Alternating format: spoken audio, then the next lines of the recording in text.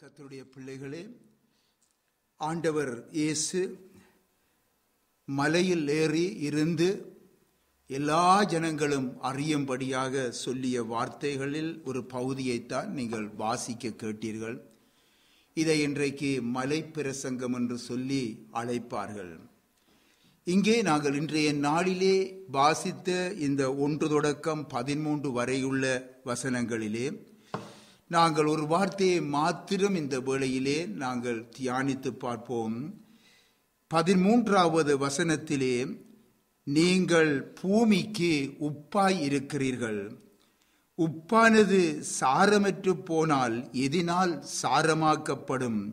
வெளியே கொட்டப்படுவதற்கும் மனுஷரால் மிதிக்கப்படுவதற்குமே ஒளிய வேறொன்றுக்கும் உதவாது என்று சொல்லி சொல்லுகின்றார்.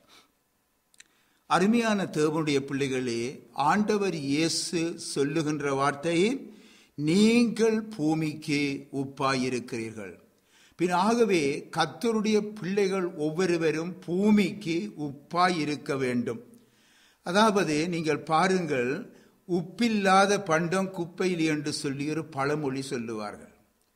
பின் ஆகவே எந்த உணவுக்கும் உப்பு மிக அவசியம். அந்த உப்பு தான் என்ன செய்கிறது? அந்த உணவுகளுக்கு ஒரு அதாவது ஒரு ருசியை உண்டு பண்ணுகிறது.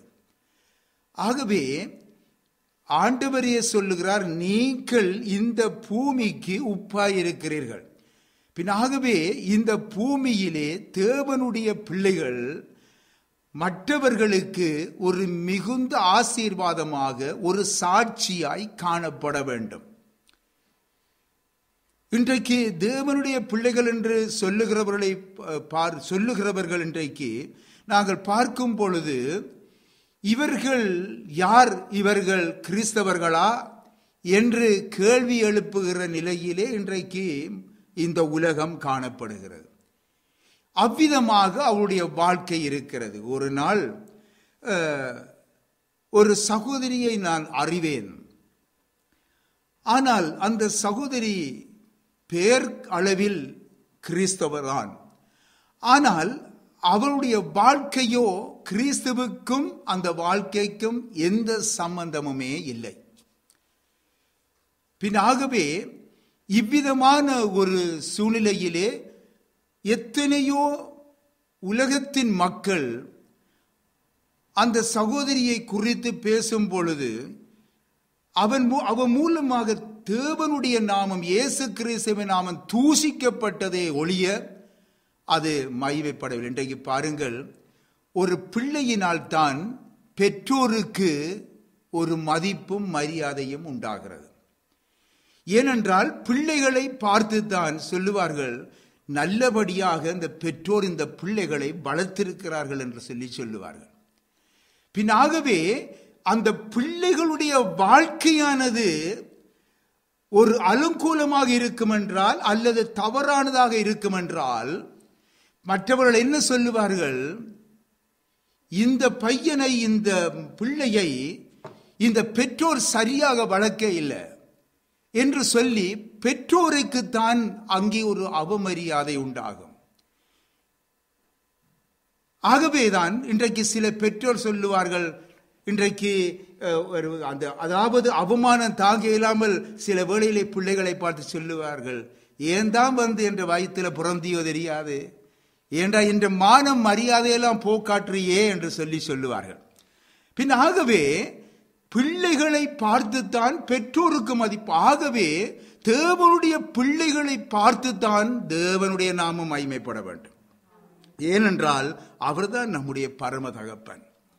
பின்னாகவே நம்முடைய வாழ்க்கை கிறிஸ்தவர்கள் என்று சொல்லி சரியில்லை என்று சொன்னால் இயேசுவின் நாமம் தூசிக்கப்படும். அது எந்த வகையிலேயுமே மாற்றம் இல்லை ஆகவேதான் அந்த ஒரு நாள் சகோதரியிடத்திலே ஒரு புத்திமதிகளை சொன்ன பொழுது அந்த சகோதரி சொன்னா நான் நான் முந்தி ஊழியம் செய்த நான் நான் சண்டே ஸ்கூலெல்லாம் நான் நடத்தினான் பிள்ளைகளை எல்லாம் நடத்தினேன். நான் சொன்னேன் நல்லது எல்லாம் நீங்கள் செய்திருக்கலாம் ஊழியத்தை செய்திருக்கலாம். இன்றைக்கு உங்களுடைய வாழ்க்கை எப்படி இருக்கிறது?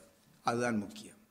பின் ஆகவே அன்று அல்ல முந்தி அல்ல அல்லது பத்து பதினைந்து வருஷத்துக்கு முந்தி அல்ல இன்று உன்னுடைய வாழ்க்கை எப்படி இருக்கிறது என்பதுதான் முக்கியம்.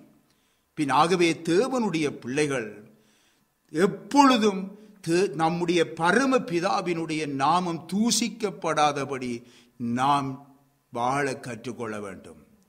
ஆகவே நம்முடைய வாழ்க்கையை ஆராய்ந்து பார்ப்போம். இதுவரைக்கும் தேவனுக்கு நாம் வேதனையை உண்டாக்கின வழிகள் நம்முடைய வழிகளாய் இருக்குமாயின் அருமையானவர்களே இன்றைக்கும் நிச்சயமாக அவரிடத்திலே செல்லும் பொழுது அவர் நம்மை மன்னித்து தம்முடைய பிள்ளையாக ஏற்றுக்கொள்ளுகிறார். மனம் திரும்புவோம். ஏனென்றால் ஒரு பொழுதுமே பரமதகப்பன் நம்மை வெறுக்கவே மாட்டார். அந்த பிள்ளை எப்பொழுது திருந்தி வரும் என்றுதான் அவர் எதிர்பார்த்திருப்பார். அப்படித்தான் அந்த உலகத்திலே பாருங்கள். பெற்றோர்கள் தங்களுடைய பிள்ளைகளை ஒரு பொழுதுமே வெறுப்பதில்லை. அவன் எவ்வளவு மோசமான ஒருவனாக இருந்தாலும் அந்த பிள்ளைகளை பெற்றோர் வெறுப்பதில்லை. ஆனால் அவர்களுடைய தாகம் எல்லாம் என்ன? வேதனை எல்லாம் என்ன? என் பிள்ளை எப்பொழுது திருந்தி என்னுடைய என்னுடைய எனக்கு ஒரு நல்ல பெயரை உண்டாக்குவான் என்பதுதான் அந்த பெற்றோருடைய தாகமாயிருக்கும். அதை உணர்ந்து நாம் நடக்க வேண்டும்.